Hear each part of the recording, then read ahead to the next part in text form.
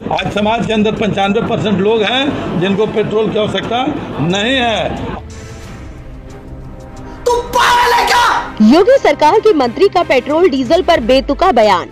दिग्गज पत्रकार ने कसा तंज मचा हंगामा।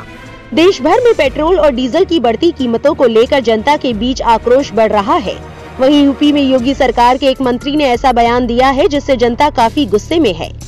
दरअसल योगी सरकार में खेल युवा कल्याण व पंचायती राज मंत्री उपेंद्र तिवारी ने कहा है देश में पिचानवे प्रतिशत जनता पेट्रोल डीजल का उपयोग ही नहीं करती। प्रति व्यक्ति आय के हिसाब से पेट्रोल डीजल के दाम अभी कम है। आज समाज के अंदर पंचानवे परसेंट लोग हैं जिनको पेट्रोल की आवश्यकता नहीं है। उन्होंने ये बयान जालौन में दिया है जिसके बाद उनका वीडियो सोशल मीडिया पर वायरल हो रहा है। उन्होंने कहा कि केवल मुट्ठी भर लोग ही चार पहिया की गाड़ी चलाते हैं। उन्हें ही पेट्रोल की आवश्यकता होती है। पचानवे प्रतिशत लोगो को पेट्रोल की आवश्यकता नहीं होती। उन्होंने कहा कि अगर आप ईंधन की कीमत की प्रति व्यक्ति आय से तुलना करें तो कीमतें अब भी बहुत कम है।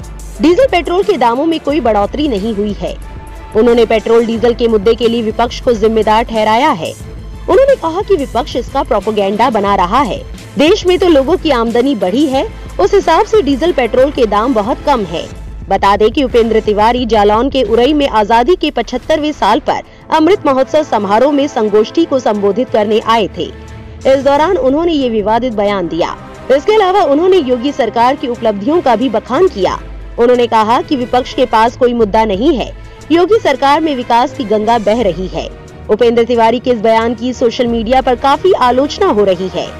बेबाक पत्रकार प्रज्ञा मिश्रा ने मंत्री जी के बयान को ट्विटर पर लोगों से इसे सुनने के बाद दो मिनट का मौन रखकर पछताने की नसीहत देते हुए पोस्ट किया है, जिस पर ट्विटर यूज़र अपना गुस्सा निकाल रहे हैं और मंत्री के बयान की आलोचना कर रहे हैं। एक ट्विटर यूज़र ने लिखा, मिनिस्टर लोगों का दिमाग घुटने में होता है। एक अन्य ट्विटर यूज़र ने लिखा, कोई एनसीबी वालों को इन्फॉर्म करो, इनका टेस्ट भी ज़रूरी है। एक अन्य ट्विटर यूज़र ने लिखा मैं तो शुरू से ही बोलता आ रहा हूँ कि बीजेपी के लगभग सारे नेता और अनभक्त झूठ की बुनियाद पर टिके हुए हैं।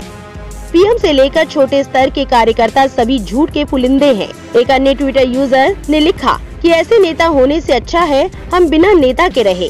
जनता के पैसों पर ये लोग केवल अयाशी करना जानते हैं। ऐसे ही कितने और यूज़र्स हैं जो लगातार मंत्री जी के बयान पर रिएक्शंस देते नज़र आ रहे हैं। आपकी क्या राय है इस खबर को लेकर, हमें कमेंट बॉक्स पे ज़रूर बताएँ। हमारे चैनल को सब्सक्राइब करें, वीडियो को लाइक और शेयर करें। बेल आइकन बटन ज़रूर प्रेस करें ताकि राजनीतिक गलियारों से जुड़ी हर वायरल खबर सबसे पहले आप तक पहुँच सके।